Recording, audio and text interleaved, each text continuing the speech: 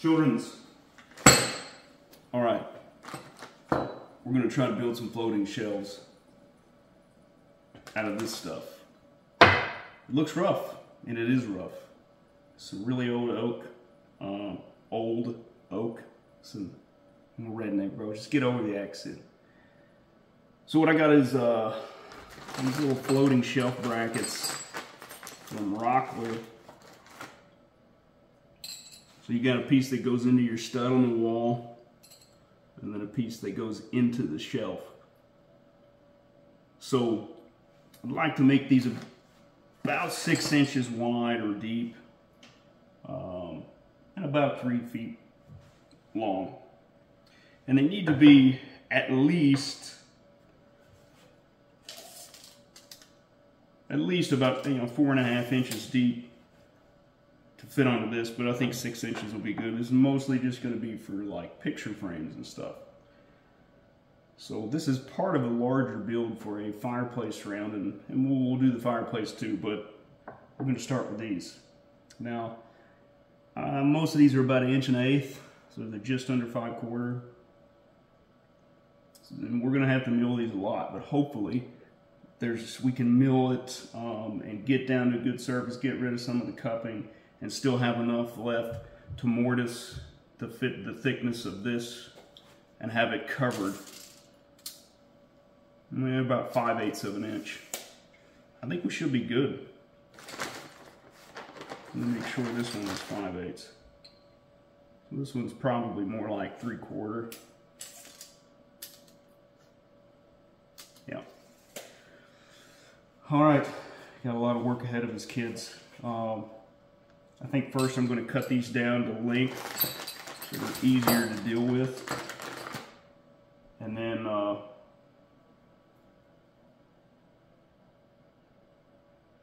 yeah, we'll cut them down to length. And then we'll take them to the jointer over there to get at least one straight edge. Rip them down the saw. Maybe joint some of the faces before we put them to the planer. Let's do it.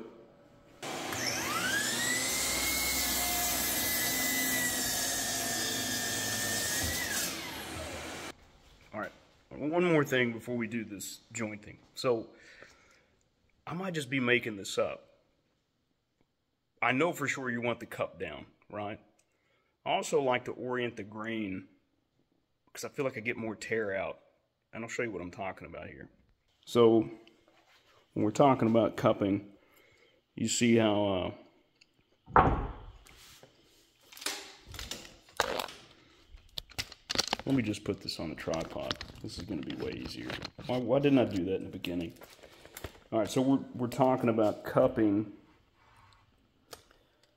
You can see that there is a little curve here, you know, so the it's more concave in the middle. And you want this down on the planer blade so you're not wobbling all over the place. Another thing that I like to do is to look at the orientation of the grain. Now this one's got some pretty straight grain on it so it shouldn't catch and tear out as much. And again, I might be making this up, but my experience, when you've got some grain patterns, like this one for instance,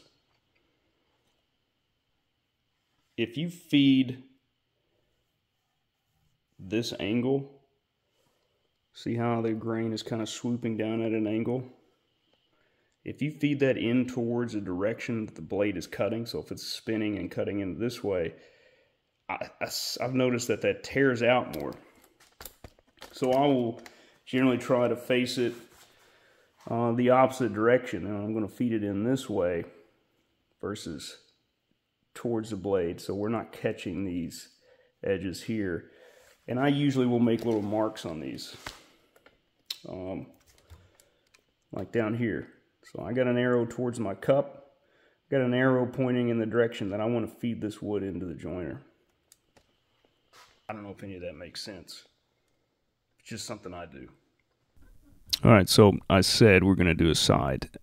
You want to joint the face down first. Then maybe plane it, use that flat face against the fence of the jointer to joint down at least one good square edge, which you can use later to rip down the other side. These aren't perfect by any stretch of the imagination, but we got the cup out of most of them. So now we're going to plane them down. So we'll run the, uh, obviously the rough face up and the face we just jointed will be down. Hopefully just take very little off of these um, and then we'll cut them down to width.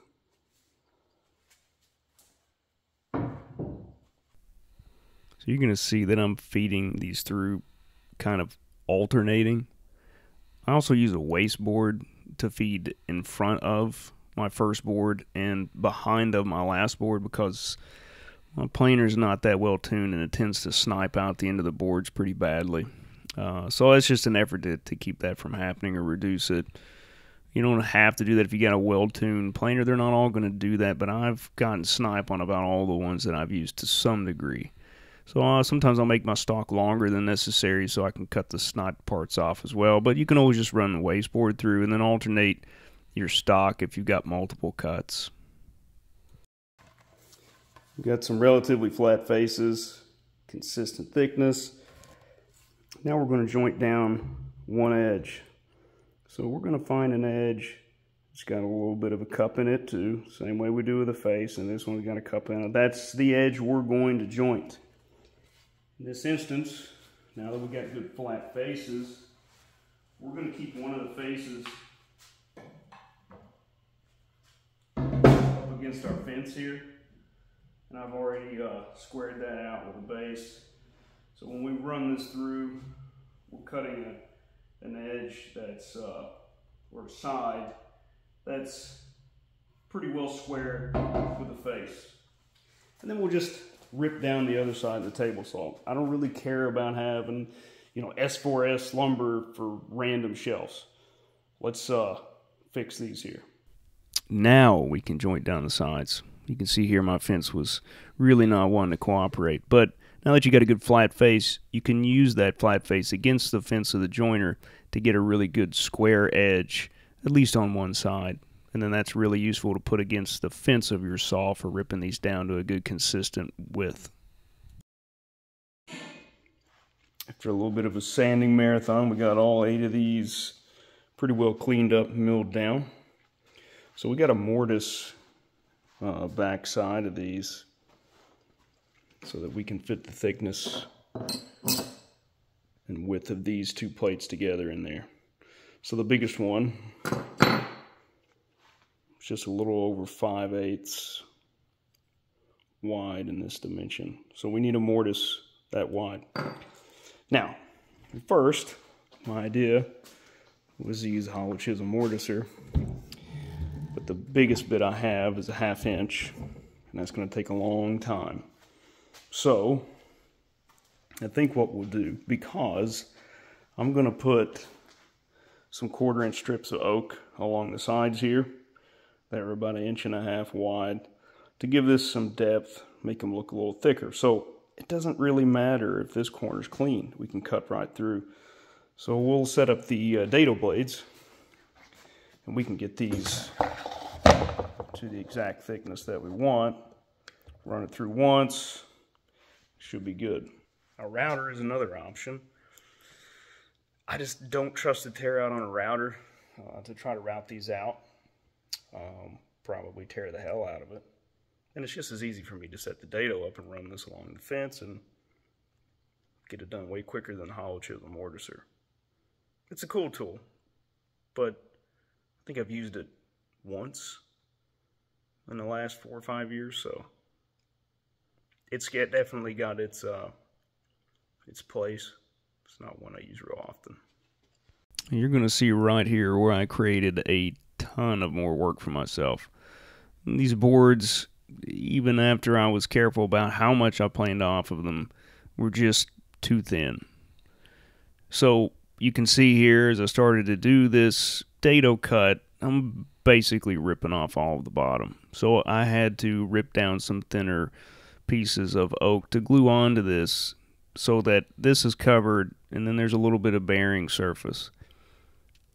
If I had used thicker stock, this wouldn't be a problem. But I didn't have thicker stock laying around and I wasn't going to go buy thicker boards for this purpose. Make sure you give yourself plenty of room when you're milling lumber down because a lot of times with this old stuff you're going to end up taking off way more than you assume you're going to to get everything good and flat and level and square.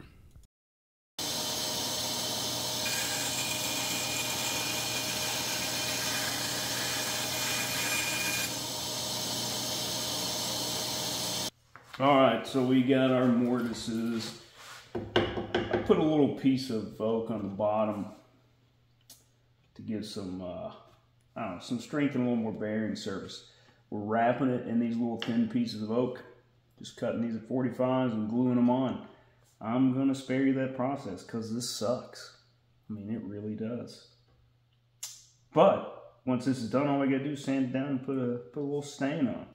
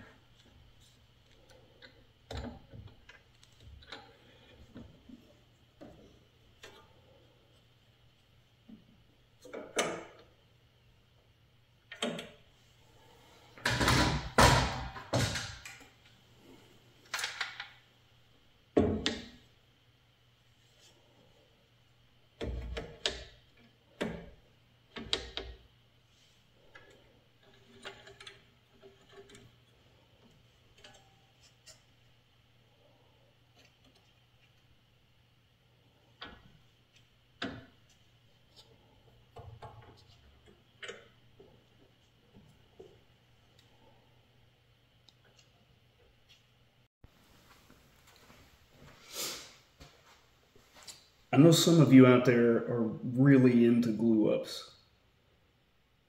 I don't know why. This is terrible. It's tedious. It takes forever. It's like being really into folding laundry. You need counseling. You need to talk to somebody. This is not right.